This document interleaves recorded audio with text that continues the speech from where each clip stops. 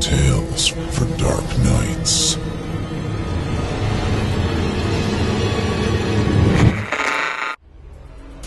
The following performance is a second round entry in the 2016 Evil Idol competition, and you, the listener, get to help decide who wins. Like what you hear? Click the thumbs up.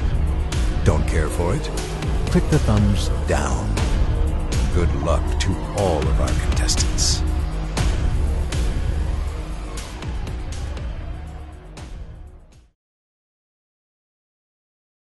Letter from the Ritual, written by Kevin Sharp and performed by John Evans for Chilling Tales for Dark Nights and the Evil Idol competition. Part 1 Dear Emma, it is 5:13 in the morning and this is all your fault. I'm at the top of Orpheus Street right now waiting for a bus in the freezing cold. All the stars look bleached out in this dead black sky. This is the worst idea I've ever had. I did see an opossum this morning, though. That was awesome. And mildly terrifying. Have you ever seen one of those? Be thankful if you haven't. They have these tails, these long, weird tails. Not enough attention has been focused on opossums as nightmare fuel potential. Believe me, that potential exists. Sorry, I have a tangent problem, you know that. So, anyway, this is your fault. You're the one who kept telling me to read more creepypasta. Grow a pair, Stuart, you'd say. It's just a scary story on the internet, that's all. Read it. It's not going to kill you. Well, today is the day I find out. Last night I was alone and bored and trying to scare myself. My dad's out of town at some convention in Las Vegas. I know, I didn't tell you. I'm sorry, I couldn't. I know you am. You would try to make me have a party, and that's the last thing I wanted. You know me, I hate everybody. I keep having these horrible thoughts of my father engaging in embarrassingly sordid and pedestrian Las Vegas behavior with all those other middle aged conventioneers. I see them as a drunk, bald, self perpetuating conga line, feral disasters away from their home and flailing at girls half their age. I thought after my mom died, I would have a better relationship with my dad. But all he does now is work. It's like he's terrified to have a conversation with me. Yeah, I understand. I'm his devastatingly witty, charming, and well dressed son. I'd be intimidated of me, too. But how charming can I be, you ask, if I stay in on Friday nights reading creepypasta alone? Still charming, girl. Still quite appealing. Ugh, these infuriating tangents will be the death of me. Anyway, I read a ritual pasta last night called Cafe de Poetes. Have you read it? It takes forever to get creepy and winds up being more sad than anything else, but I liked it anyway. After I finished reading it, alone, in my bed, my room lit up by my laptop, I thought, well, why not? What would happen if I followed the pasta directions? Has anybody ever done that? What do I have to lose, Em? So that's why I'm here, waiting for a bus. The pasta said it will appear after I wait for 20 minutes. It's been 15 and I haven't seen a thing. This letter I'm writing you, by the way, is part of the pasta. I'm supposed to stop and write a letter four times during this to my one true love. I hope you're okay with being my one true love. I don't think Tad Zio is even aware of me. also, he's very straight. so tragically pretty and so mundanely straight. Slings and arrows we live through in this life, girl. I don't see a bus anywhere. This isn't even a bus line. I'm beginning to think this pasta, spoiler, might not be true. There's supposed to be a dude waiting with me on the corner, too. I'm not supposed to talk to him or look at him. and since he's not here, that currently isn't an issue, which is good. This corner is actually pretty creepy. The streetlights are broken and kind of flickering. There's this fog everywhere and it's frigid. It's much colder than I thought it would be. I'm not wearing the right kind of clothes for. Oh. Oh, fuck. Oh, holy fuck. Someone is walking up to the corner. Holy fuck. They're standing right next to me. Fuck, fuck, fuck. Oh, I wasn't prepared for this, not at all. They aren't saying anything. My hands are shaking. It's hard to write. I can see my breath, but I can't see theirs, Em. I can't see any breath. There are lights coming from up the dead end street. It's a bus. Jesus fucking Christ, it's a bus. It's got black windows. The door just opened. I'm going in. Oh, Jesus fucking Christ. Part 2. I'm still alive. I'm at a diner, I guess. It's a weird diner, like really weird. I'm losing it, Em. This place. Let me describe the bus first. The bus. Jesus, the bus. The pasta said I wasn't supposed to talk to anybody on the bus. Was not hard. The bus was a horror movie. The lights would go on and off in the aisle, and when the lights were on, you could see the other passengers. I liked it better when you couldn't. There were probably 15 other people in the bus, and that thing waiting with me at the bus stop didn't get on. I had to walk past it to get to the bus door. It didn't move. After I sat down in the bus, I gave the driver a dollar, went to the 13th row, I followed the directions. I looked out the window. Even in the dim, not quite morning light, I could see it. It was tall and black and moved in a weird way, like all of its bones had been broken and put back together. or maybe like it had stolen other bones and put them inside of it. I saw it crawl into the sewer entrance. I don't know how it fit. It bent, I think. And then the bus was gone, driving through what should have been recognizable streets, but they weren't. They weren't at all. The pasta said my phone wouldn't work. It doesn't. It just keeps telling me it's searching for a network. So I have to try and remember these bullshit directions perfectly, and it sucks. All the ritual pastas I've ever read are blending together. I can't remember what I'm even supposed to say at this diner when they ask for coffee. But oh god, the bus. These things in the seats. They had hoods up. Black clothes. But I saw things. Tentacles. I think I saw tentacles. I heard gurgling. One was dripping, for God's sakes, and the smell, the smell, the smell. The bus driver stopped twice. At the third stop, I remembered I had to get off. I didn't want to get off. I didn't want to walk by those things. I finally stood up. They all looked. I didn't. That was in the instructions. Don't look the passengers in the face. Oh, and I tried to forget that the instructions added. If they had one. The aisle to the front of the bus felt like miles. Maybe longer. What's a league? Is that strictly an underwater measurement? Ugh, whatever. It, it took longer than forever. And then one of them said my name. Quietly, very quietly. It said my name and my birthday. It said the name of my old dog.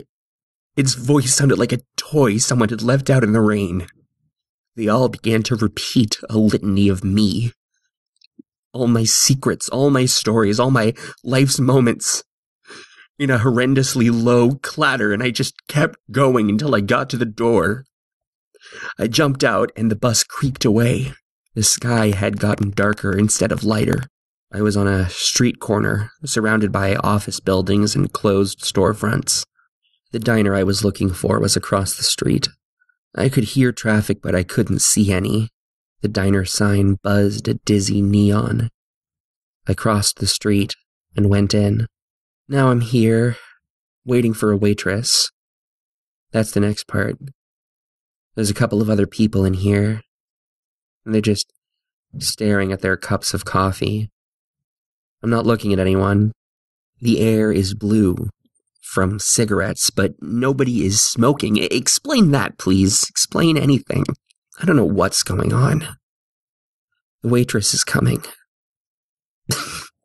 That's what she said. That's for you, girl. Uh, I'm trying to keep it together. Part 3 The waitress asked me what I would be drinking. Her eyes were sewn shut. Thick black strings were sewn in and out of the lids. They blended in with her eyelashes. She sounded like she was on a three second delay. I could see her teeth when she talked. I could see all the stitches in her mouth, too. I told her I wanted my coffee black, just black. She asked me if I was sure. I saw her pupils flitter back and forth. I repeated that I wanted it just black. She walked away. Her legs had awful scars running up and down them, the way people used to draw on nylon lines. The coffee came. I didn't drink it. I'm pretty sure that's what I was supposed to do. It's hard to remember. An old man was sitting at the counter. I could tell he was watching me. I was remembering what you told me your therapist said about how if you control your breathing, you can control your anxiety. Your therapist seems cool, Em. Oh, if I live through this, I'm gonna need his number. The old man stood up and walked over to me. His beard was yellow from nicotine. He put his hands on the table and his thick, discolored nails tapped against the surface. He asked me what I wanted. I told him what I was supposed to say. I wanted to know the words that would wake the dead. He told me the address of a mailbox. I was to drop this letter in the mailbox. If I had followed the directions, I would then wake up in my bed. The whole thing would feel like a dream, but a week later, a letter would arrive in the mail. I would open the letter and read it in front of a picture of the one I wanted to return from the dead. And then they would. But if I hadn't followed the instructions correctly, my one true love would get this letter I'm writing in the mail the next day. And as for what would happen to me, the old man smiled. His teeth fell out of his mouth, yellow and brown stained, clattering against the battered black and white tile floor. You'll find out, Stuart. You'll find out. I'm writing this in the back of a cab. There's no meter. I gave the address of the mailbox. The city lights are bouncing against the windows. I'm trying not to look at the driver's eyes in the mirror. I'm getting ready for the end. Part 4. this is the last part. I'm at the mailbox. It's in the middle of an empty lot. The taxi dropped me off here and idled for a moment. Its hazards blinked and flashed. Tall weeds burst out of the pavement here. I can see things that look like rats scurrying about. I hear the clicks of the nails on the cement. The lot is in the middle of a series of abandoned buildings. There are things moving around behind the broken windows. Dogs are barking somewhere. I can't see them, but I think they're getting closer. I circle around the mailbox three times, and I repeat the words the pasta said three times. See, the cruel fates recall me, and sleep hides my swimming eyes. I think it's from a poem, but when I googled it last night, I couldn't find anything. The echoing barking from the dogs is getting closer. I'm almost done with this letter. I don't want to finish. I don't want to put this in the mailbox.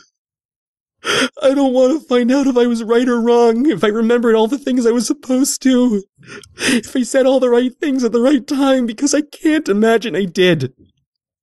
I think I was supposed to say something to the cab driver. I'm worried I was supposed to do something else in the diner. Should I have sat in the 14th row on the bus as opposed to the 13th? All these parts could have gone wrong. I can see the dogs now. And I was wrong. It's just one dog. I mean, it's not a dog, not exactly. It has too many heads for a dog. It's snarling, and I can see its teeth. They're bright white like bleached out stars in a dead black sky. I feel the heat coming in waves from under its spiky fur. It paces the perimeter, staring at me with those dead computer screen colored eyes. I have to stop writing, I know. This is the last part. If you're reading this, you know what happened. I'm pretty sure you're gonna be reading this. I was supposed to tell the cab driver thank you. I didn't say anything to the cab driver, I just remembered. I shouldn't have done this. I just wanted to bring my mom back, that's all. I shouldn't have tried. We're alive, and then we're dead, and we shouldn't pretend we can change a single fucking thing ever. I'll miss you, girl. Always remember to look good. Fuck those wannabe normcore bitches. Look fantastic. and, uh, don't read scary stories on the internet. And this wasn't your fault, Em. Oh, I think I wrote that it was. It wasn't. Just don't feel bad, Em. I'm gonna mail the letter now. Don't feel bad. Don't. Thanks for listening. If you haven't already, don't forget to cast your vote for this contestant via a thumbs up or thumbs down vote. By doing so, you'll help us determine who will become the next permanent member of our voice acting team. At the close of voting on August 15th, based on your votes, the top 25 contestants will advance to the third round, which begins September 1st, based entirely on your votes. Thank you for voting and for helping to spread the word. You're listening to Chilling Tales for Dark Nights. I'm Steve Taylor, host of Chilling Tales, the podcast, encouraging you to turn off the lights and turn on the dark. Chilling tales for dark nights.